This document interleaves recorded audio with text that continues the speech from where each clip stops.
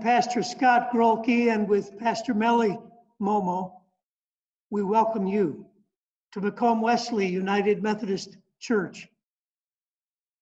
We welcome you for prayer, for music, for a children's moment, for scripture and sermon to remind us we are not alone. If you appreciate this experience, like us on Facebook, subscribe to us on YouTube. Today, we encourage our staff, musicians, worship leaders, technicians, members, and friends to remember the story of Matt Redman, a worship leader at Soul Survivor Church, Watford, England. The church was young and growing. The pastor at the time still sensed something was missing in all the excitement, something authentic, something at the heart. And so he removed all electronics, the PA system, the instruments, and the people gathered for a season with only their voices. It became a time of reflection where Matt Redman could write these words for a song entitled Heart of Worship.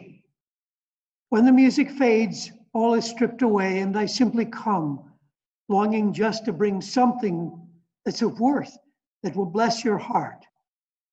I'll bring you more than a song, for a song in itself is not what you have required. You search much deeper within to the way things appear. You're looking into my heart. I'm coming back to the heart of worship, and it's all about you. It's all about you, Jesus. Today is not about you, it's not about me. Macomb Wesley Church is not gathered in a building, we're gathered in the simple presence of Jesus Christ. In his spirit, we now prepare for worship. Good morning. I am Meli Momo. I welcome you to this morning service. I will invite you now to the call to worship. We begin this time as lonely, empty, and frightened. We begin with frustration, anger, sorrow, and grief. So we gather all that we have and all that we feel to this time of prayer.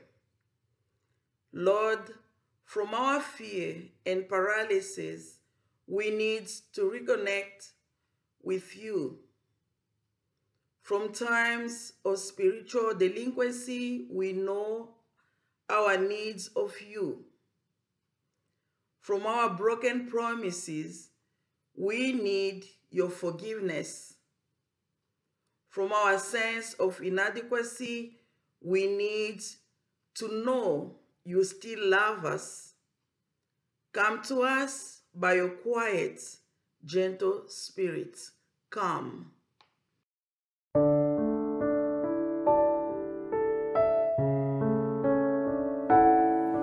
Hello, everyone. Please join with me and sing as we reflect on the true reason we worship. When the music fades, all is stripped away, and I simply come. Longing just to bring something that's of worth that will bless your heart. I'll bring you for a song in itself is not what you have required.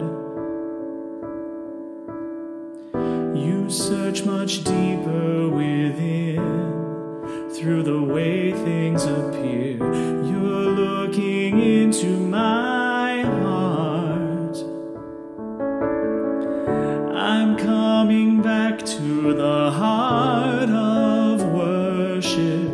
And it's all about you. It's all about you, Jesus. I'm sorry, Lord, for the thing I've made it. And it's all about you. It's all about you, Jesus.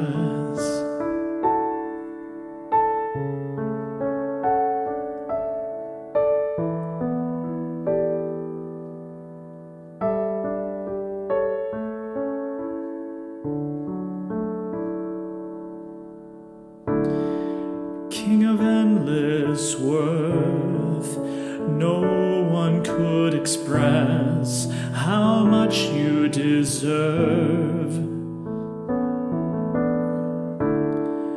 Though I'm weak and poor, all I have is yours, every single breath.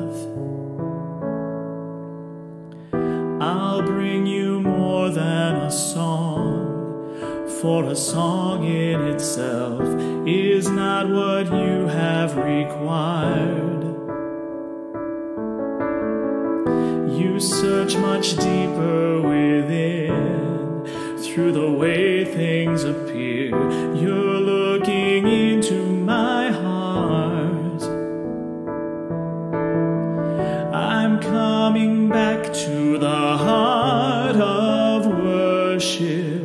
and it's all about you. It's all about you, Jesus.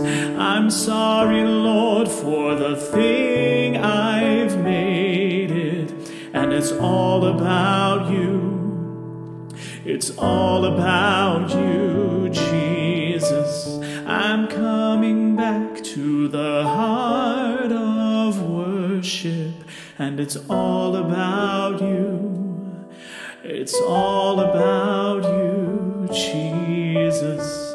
I'm sorry, Lord, for the thing I've made it, and it's all about you. It's all about you, Jesus.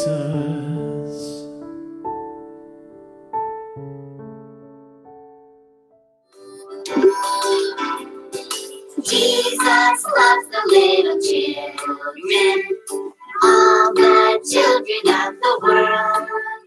Red and yellow, black and white, they are precious in His sight. Jesus loves the little children of the world. Good morning. Have you ever made a mistake? I'm afraid I've made lots of mistakes. I'm thinking right now about mistakes I make when I might be writing, maybe writing a letter, writing a story. I misspell a word. I want to change a word. I get out my eraser, except on this pencil, the eraser is gone. I don't know if you can see that very well or not, but I can always add an eraser to it, and that'll help correct that mistake.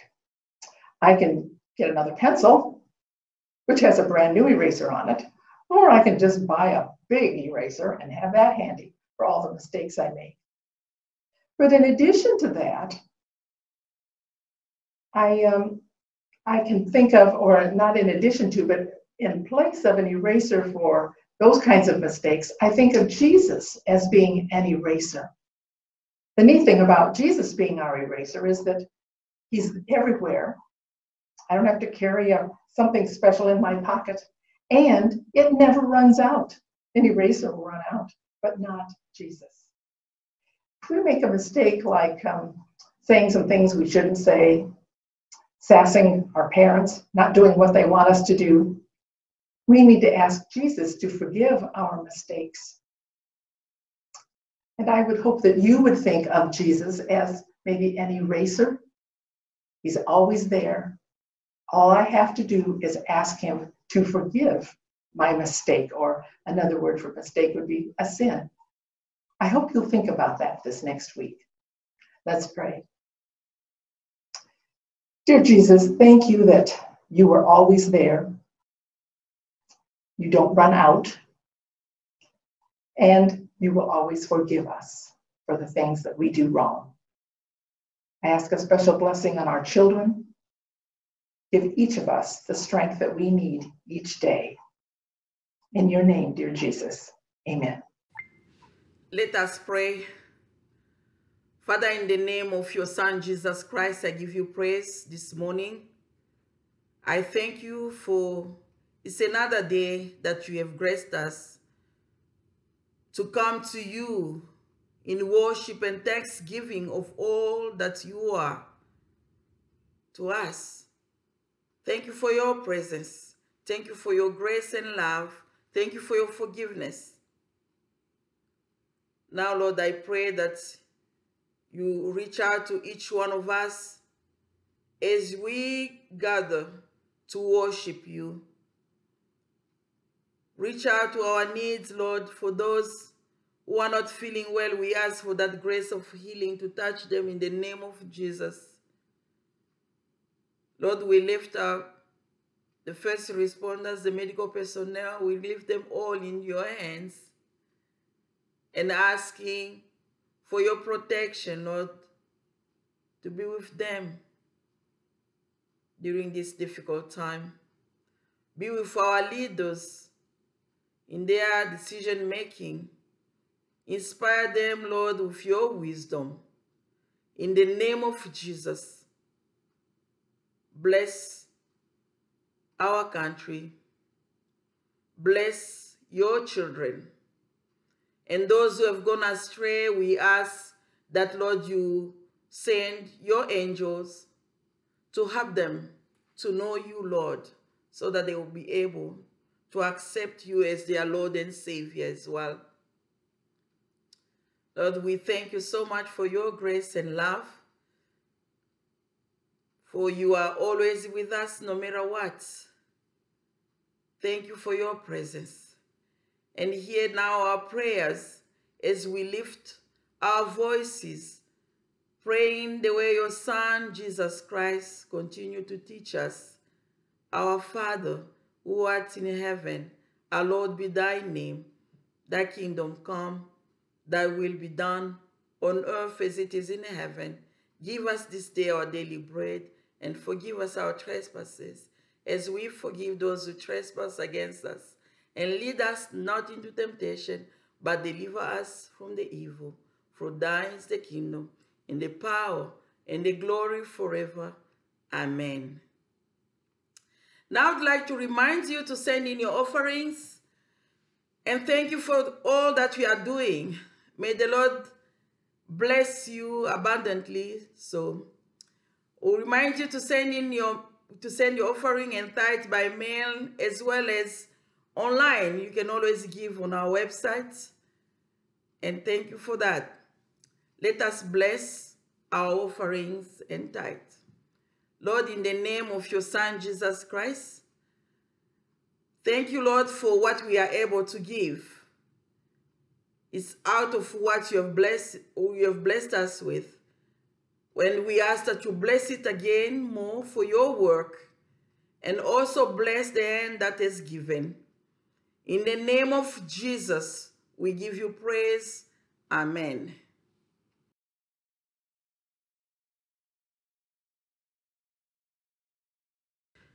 Our Old Testament reading is from Psalm 91, verse 1 to 4.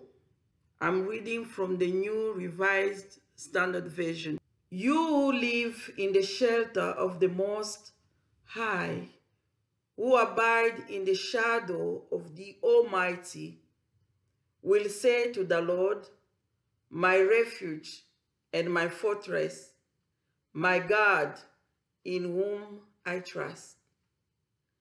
For he will deliver you from the snare of the fowler and from the deadly pestilence. He will cover you with his pinions, and under his wings you will find refuge. His faithfulness is a shield and buckler.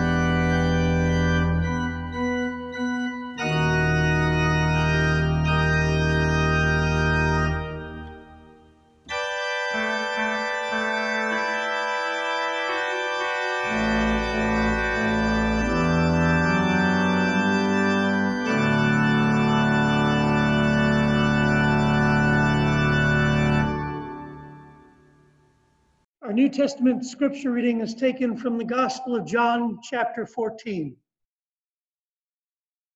beginning in verse 15. Jesus said, If you love me, you will keep my commandments, and I will ask the Father, and he will give you another advocate to be with you forever. This is the Spirit of truth, whom the world cannot receive because it neither sees him nor knows him. You know him because he abides with you and he will be in you. Verse 18 I will not leave you orphaned, I am coming to you. In a little while, the world will no longer see me, but you will see me because I live. You also will live. Verse 25 I've said these things to you while I'm still with you, but the advocate, the Holy Spirit, whom the Father will send in my name, will teach you everything and will remind you of all that I have said to you. Peace I leave with you, my peace I give to you. I do not give to you as the world gives. Do not let your hearts be troubled, and do not let them be afraid. This is the word of God for the people of God. Thanks be to God. Does it sometimes feel like the training wheels never came off? You remember your childhood. Now, if you have children or grandchildren, the training wheels offer a stability when they're learning to ride. I remember the process with my daughters. After a year with the tricycle came the bike with training wheels. I would gently hold one end of the handlebar and guide the bike forward. The wheels began their first turning, then faster and faster, then letting go, releasing them under pedal power, the training wheels in full contact. A few weeks later, the adjustment with less reliance on the wheels, than the removal. I would walk alongside them, then release. If the bike went over, I was there to check the skinned knee. Try it again. You're okay. Keep your balance. It's a practical illustration of the Spirit of Christ. Gently, carefully, He walks beside us as we pedal forward in faith. Jesus talked about it in John's Gospel. He was near the end of his ministry. He would soon give up his life and be absent. But he would never leave them. He would never really abandon them because his spirit would be with them. Have you felt abandoned? Did you feel abandoned with the death of a family member or friend who you needed to believe they were still there, near, somewhere, somehow? Did you feel abandoned when you hurt someone and needed forgiveness? Did you feel it when someone hurt you? Did you feel abandoned in a crowd ever, still with a lonely ache? Did you feel abandoned while social distancing in a pandemic? Did you feel it with an emptiness in your soul? Did you feel it when something was missing at the end of the day? I believe Jesus knew about loneliness. Isaiah predicted the Messiah would be a despised, rejected man of sorrow. Jesus said, Foxes have dens, birds have nests, but the Son of Man has nowhere to lay his head. Matthew 8. John in chapter 6 said, Many disciples turned back and no longer went about with Jesus. So he asked the 12, Do you also wish to go away? Matthew 27 46, in the midst of crucifixion, Jesus cried, My God, why have you forsaken me? Jesus knew about loneliness. Last week, we talked about his promise to make a home for us. Today, he promises that until we arrive there, that he will never leave us abandoned. In John 14, he was near the end of his ministry. In physical form, he was leaving, but he would send another just like him, his spirit. He told them to mark the time, mark the place, and wait. That reminded me of a story my dad told about two fishermen on the lake. They were in a small boat catching all kinds of fish. They'd reached their limit. One of them started up the motor and he said, Now, you mark this spot, we'll come right back here tomorrow. When they reached the dock, he said, How did you mark that spot we fished? The other said, Well, I painted this X right here on the bottom of the boat. First fisherman said, You ninny, we might not get the same boat tomorrow. When Jesus was preparing to leave, he said to his friends, Remember this moment. Mark my words. The Spirit will come. The word he used was parakletos. It's a Greek word. He used it an Aramaic word, but the Greek word is parakletos. It's a multi-dimensional word that means counselor, helper, advocate, comforter. You could think about the full range of biblical definitions for spirit. A spirit who breathed life into you and the universe, Genesis 1. A spirit, a friend who never leaves, John 14, 23. A spirit to fill and fulfill your soul, Luke 1, 15. A spirit to lead you into truth, like Luke 12, 12 and John 14, 17 the spirit that comes from the Father, John 14, 26. An adoptive parent who will never leave you, John 14, 18. One who comforts in a time of grief, John 14, 26. One who remains with every follower, John 14, 17. One who brings joy and peace, Romans 14, 19. One who represents our needs to the Father, Romans 8, 26 one who motivates you to keep growing, 2 Peter 1:21. One who judges the sin of the world, John 16:9. A legal witness to the life of Jesus, John 14:26. A defense attorney at your side in approaching the almighty bench, John 14:16. Jesus said, Wait, and the Parakletos will come. So the first disciples waited and the Spirit came and still comes. At Pentecost, he came in tongues of fire, but for most of us, he comes as he did with John Wesley, with a warmed heart. He came with ecstatic visions. For most of us, he comes to clarify our self vision. He came with miraculous manifestations, but for most of us, he comes like he came the first time to earth gently, unpredictably, unobtrusively. The other helper, the advocate, comes to teach, guide, befriend, walking alongside, holding the handlebar as you pedal forward in faith. So, what would you do in the next crisis without the Spirit of Jesus? One of our hymns recalls the poetry of John Greenleaf Whittier, who suggests a tranquil mood, a gentle atmosphere for the Spirit's approach. It's from a piece called The Brewing of Soma, in which Whittier rejected the emotionalism of some Christians who require an intoxication of the Spirit.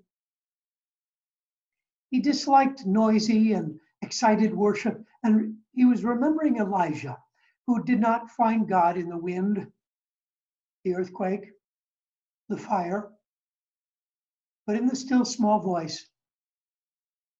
The hymn that includes Whittier's poetry is Dear Lord and Father of Mankind. And the stanza is this Drop thy still dews of quietness till all our strivings cease.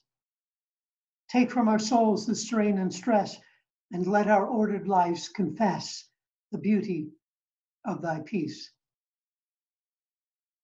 Jesus' Spirit comes, fluttering, descending, winging his way among us, like the writer of Psalm 91 who said, You live in the shelter of the Most High. He will cover you with his pinions, and under his wings you will find refuge. May you remember that the Holy Spirit is not discovered through magic formula and incantation. May you remember that his presence is the promise of Jesus, who said, I will not leave you desolate, but I will come to you. May you remember to be open to the Spirit's lessons in the book. May you remember in this crisis how the Spirit of Jesus has guarded, protected, watched over you. And may you remember a story from Catherine Marshall's book, The Helper. An art competition was held. The subject, peace. All kinds of paintings were submitted, a serene pastoral scene, a placid lake, an intimate cottage sketch with a family snug by the fireplace, vistas of freshly fallen snow, a painting of a tranquil, windless dawn in a play of colors. But the painting selected by judges for first prize depicted the height of a raging storm, trees bent low under the lashing wind and driving rain, lightning zigzagged across a threatening sky, in the center of the fury, the artist had painted a bird's nest in the fork of a tree where a mother bird, wings spread over her brood, waited serene, unruffled until the storm would pass. And so we pray. Spirit of Christ, come, wing your way into our hearts and minds. Give us, even in the midst of this crisis, your peace. Amen.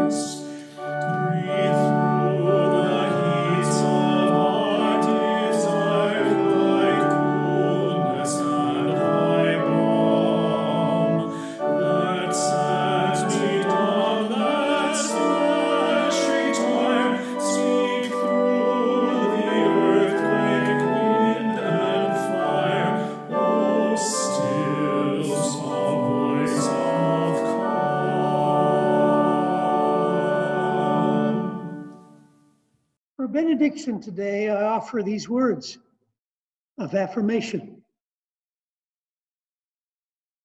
We are not alone. We live in God's world. We believe in God, who has created and is creating, who has come in Jesus, the Word made flesh, to reconcile and make new, who works in us and others by the Spirit. We trust in God. We are called to be the church, to celebrate God's presence, to love and serve others, to seek justice and resist evil, to proclaim Jesus, crucified and risen, our judge and our hope. In life, in death, in life beyond death, God is with us. We are not alone. Thanks be to God. And so may these words of affirmation go with you in this benediction of peace. We are not alone. In the name of the Father, and of the Son, and of the Holy Spirit. Amen.